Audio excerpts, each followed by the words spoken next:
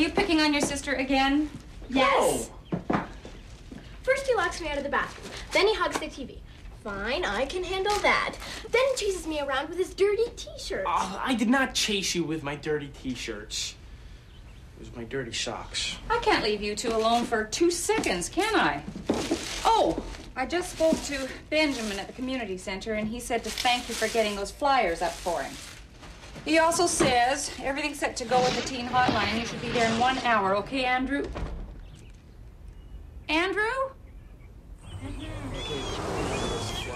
Clements, why do you always drag me into these stupid goody-goody projects of yours? It's not my stupid goody-goody project. It's Dr. J's stupid goody-goody project. Besides, think of it as a chance to talk on the phone for hours to all kinds of people. Well, that ranks right up there with licking a frozen metal fence post. Look, Herbert, I understand your concerns, but this is an idea whose time has come. There's just so much at risk here. If this Teen Hotline program fails, It won't fail. I personally guarantee it. well, I'm glad to hear that. I've never been one to take chances. Don't worry, Dr. Hobbs. It'll be great. Nobody knows kids' problems like other kids. But can they solve them? I have the utmost confidence in these kids.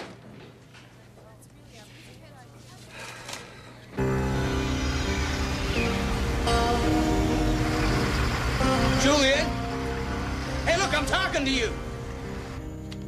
You never listen to a word I say. You're useless. Do you hear that? You're useless. I wish you were never born.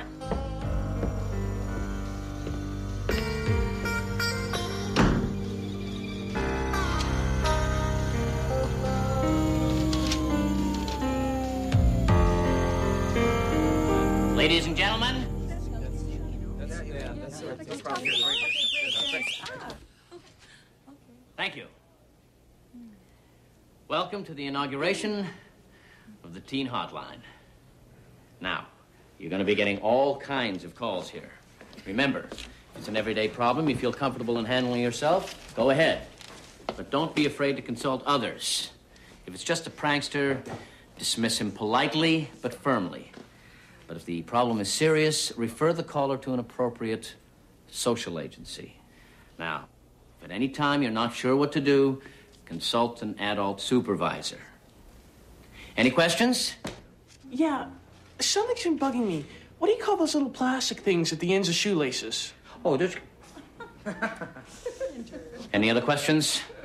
Yeah, um, when do we get started? Well, how about right now?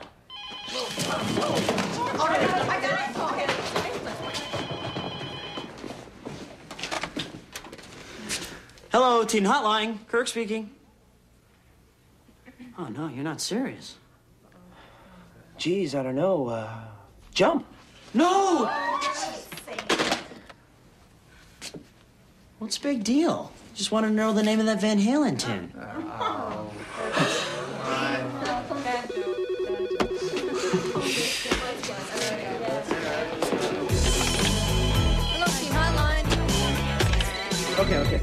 see if I can find Still have a problem. What you just called? Your best friend's boyfriend wants to break up with your best friend, and your best friend says your boyfriend wants to break up with you. And now your best friend Your likes mom your thinks you don't act normal for a teenager? Hmm. Well, you could start by throwing clothes all over the floor. And uh, go into your room and song collide. Oh, and before you do anything around the house, act like real put upon It doesn't and matter uh, who's do the whole right, martyr. who's wrong. A brother and sister relationship is a very special thing. Look, why don't you try being real nice to him for a while, and maybe he'll start being nice back. Have you seen None of the Ultra Disgusting Vampire Slugs? Now that's cinema. Mozart? I can't believe it. You have even worse taste in music. You sound cute. What's your name? Teen Hotline, Andrew speaking. It's my dad. I, I, I can barely hear you. Forget it. No, no, I, I want to listen. He's always drunk and I can't handle it. Jeez, that's brutal. He boozes up all the time. Yeah. Well, you did the right thing. You made the call. Now you gotta get help. So what do I do? I'm gonna give you the name of a place. The shelter. You can grab a bite, get cleaned up, grab some seats. Got a pen? 431 Madison Street. Thanks a lot, man. You're okay.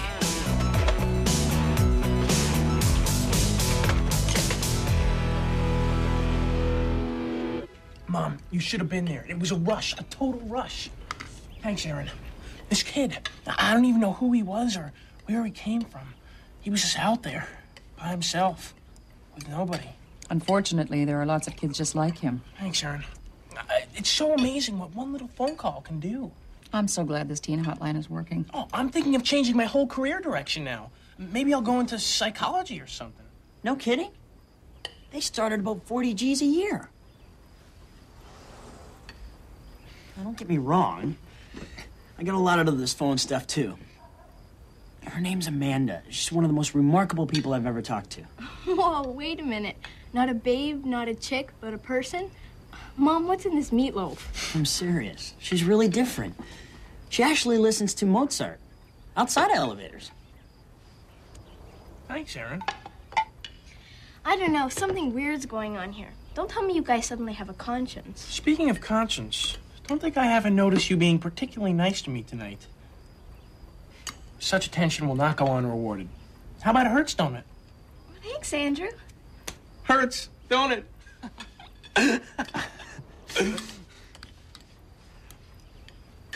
Please, your attention. That's right. Yo, Listen up! Thank you. Now, you all know Dr. Hobbs from the community center. And with him are two of the council members who originally uh, voted against the program. well, they're all quite keen to see it in operation, so let's show them our best.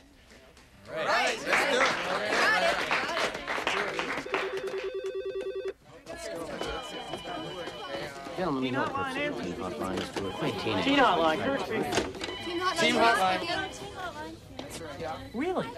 You tried being nice and he still treated you like that? That's right. I don't know. This brother of yours sounds like a total bonehead. Tell me about it. What you gotta do is command a little respect. Don't tell him read his put downs. Let him know how you feel. Be your own person. Hello, Teen Hotline. Kirk speaking. Oh, no, no, I'm in. I was hoping you'd call again. Uh... Listen, you sound too cool to be having these kind of hang-ups, so... Gentlemen, like this way. I think we should get together no matter what your dad thinks. Tomorrow, Van Hooks Park, 4.30. Uh, I'll be the tall, dark, and handsome one in a black leather jacket. Teen hotline, Andrew speaking. It's me. Hey, how's it going? Good to hear from you again. Andrew's one of our best. I can't Here, believe I listened to you. I, I don't believe I even called this stupid number in the first place. I'm sleeping on the streets on tap. You, you screwed up my life. But what about the shelter? Didn't they help? They helped, all right. They called my father. Thanks a lot, pal. It's the last time I ever trust anybody.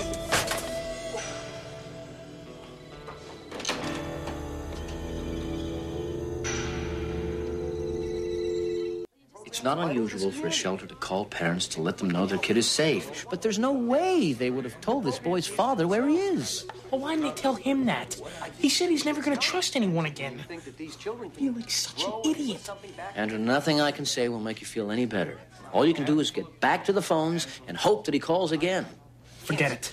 I'm done playing this social worker. I'm out of here. Andrew. Ben? I think we should talk.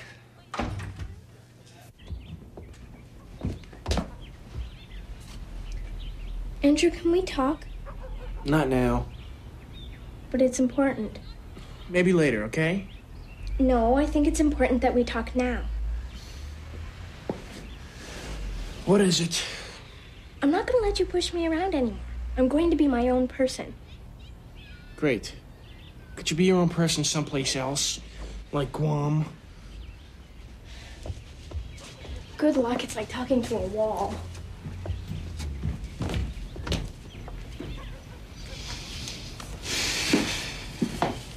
Ben called, told me what happened. So much for my career in psychology. Oh, Andrew, it's not your fault and you know it. Oh, it's not like you to give up so easily. Meet the new me.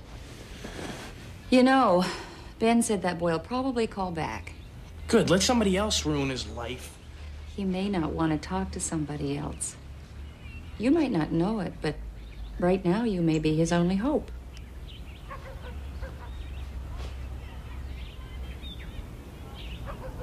Maybe you're right. He may need someone to yell at.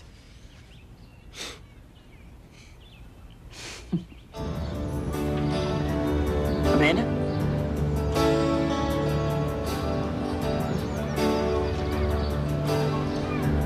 Hey, tall, dark, and handsome.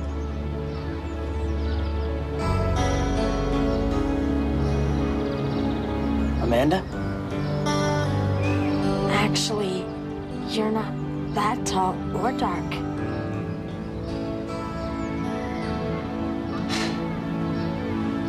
What about handsome? Be nice. Handsome?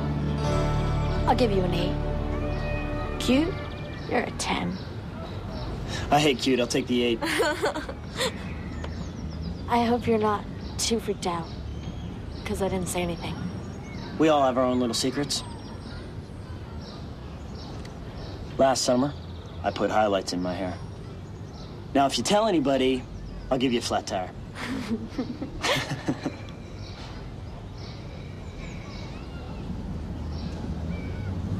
You're sweet. So that's it then. You want to shut us down? No, it's not that I want to. It just might be easier. No second chance? To tell you the truth, Ben, it doesn't look good. My dad thinks that the second I step out of the house, something terrible's gonna happen. I mean, he loves me and everything, but sometimes a little too much. And you can't fight back. I used to try, but you get used to it. Until, What? until you find a good reason not to be used to it. How are you on hills? Fast. Hurry on, stop on stopping? Okay. Until my hands start to smoke. Come on, let's see what this thing is like. I'll drive.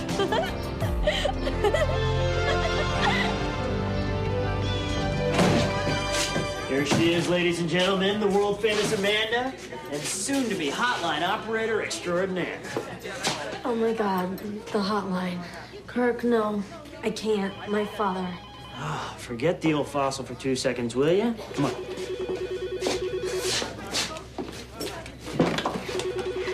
Teen hotline. Um, teen hotline. Nobody's saying anything. Hello? Yeah, Hello, are you there? yeah, I'm here. It doesn't matter. What doesn't matter? Nothing. Nothing matters. Yeah, I felt like that before. It's him. I've got to talk to him. Uh, hi. I'm the guy you. Talked to before about the shelter thing?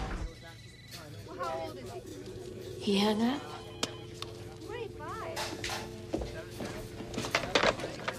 Amanda? Hi, Dad. What are you doing here? Why aren't you at home? I was just. Wait a minute.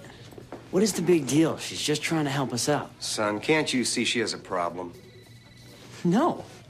I don't see a problem. Not with Amanda, anyway. What would you know about it? Come on, Amanda, let's go. No. What? I said no. I want to stay. Honey, you've got limitations. And Kirk dyes his hair. No one's perfect. I don't dye my hair. I highlighted it. Once.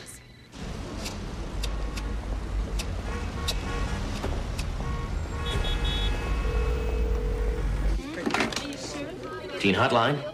Yeah, may I please speak to that girl? Amanda, it's a call for you.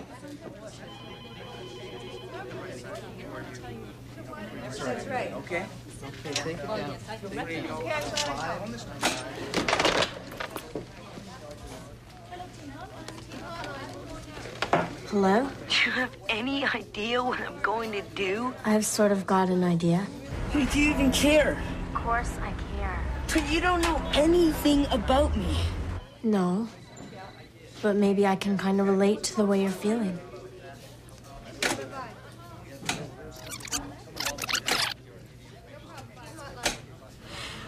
Do you even care? Of course I care. But you don't Hear know that? anything about me. It's the old bell tower. I'm there. Amanda, Where are you? try to keep him on the line. Believe me, I know how it feels not fitting in. I've been there. Oh, yeah? Do you have a father who beats the crap out of you every single day just for being alive? Someone who takes everything that's ever gone wrong in their lives on you? No, but I know what you mean. I know how it is to feel like you're a burden on everybody. And you're right. Sometimes you wonder if it's worth it. She's very good.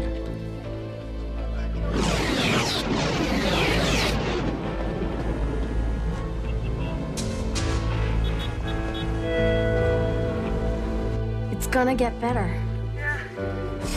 I keep telling myself that, but it just gets worse. Hi.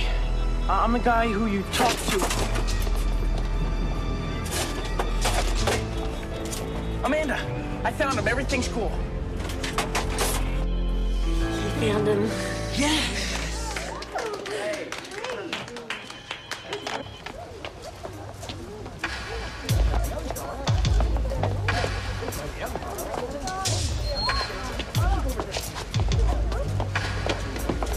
Can't do enough.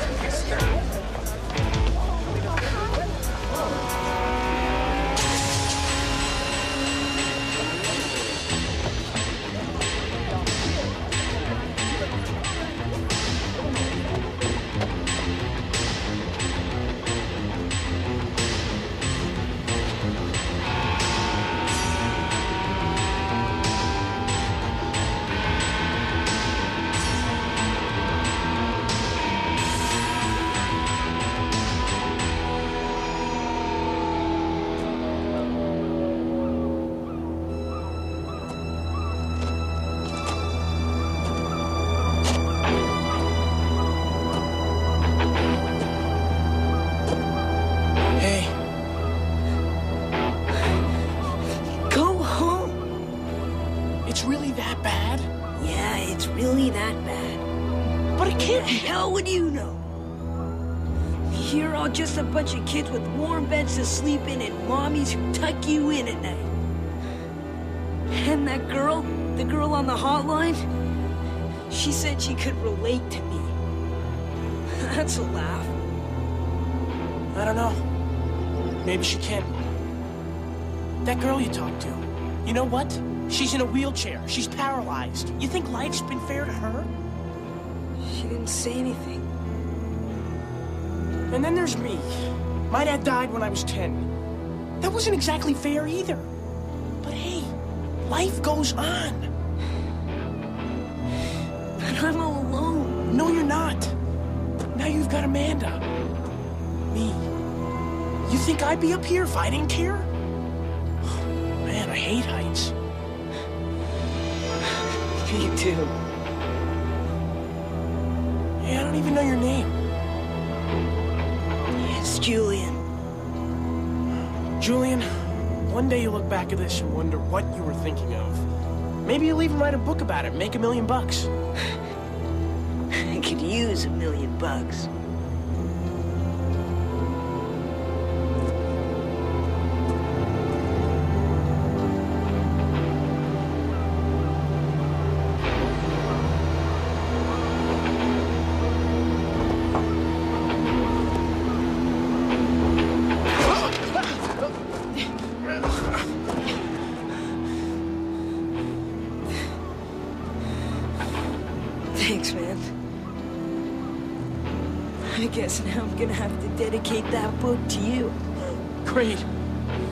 Clements with a C.